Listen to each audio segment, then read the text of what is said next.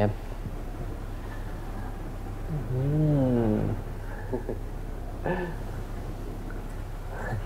à chắc ngày mai á anh mua thêm một ghế bố nữa ngủ cho tiện Ừ.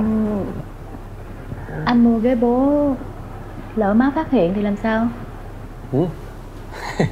anh nói xi ngầu á nó chờ cửa sau không sao đâu Rồi lỡ như Ừ. Hải Di giữa đêm nó khóc Má sốt ruột Má vô phòng Rồi anh biết nói làm sao với má? Ừ ha. Thôi có gì ngày mai anh ngủ võng cho con ngủ trên giường thoải mái hơn. Anh à. Ừ. Không mấy Mình kết thúc đi. Ủa?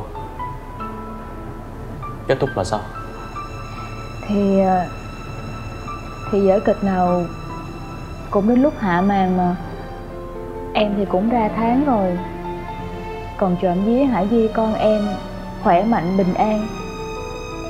Đã đến lúc Em trả tự do cho anh rồi.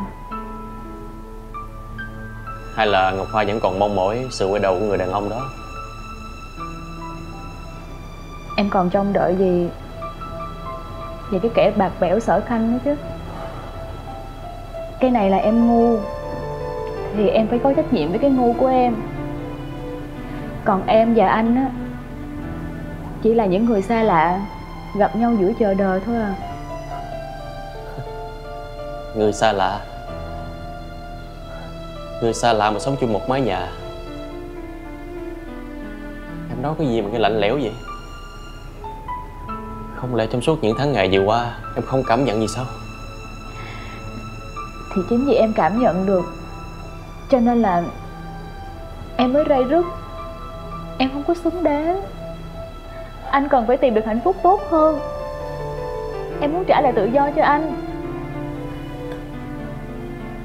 Hai đứa bay lào xào cái gì giờ này vậy?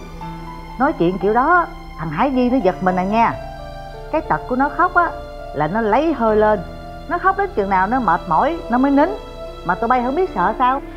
Đó em thấy chưa cục vàng của bà nội đó. Em đừng có hồng mà ẩm đi nha.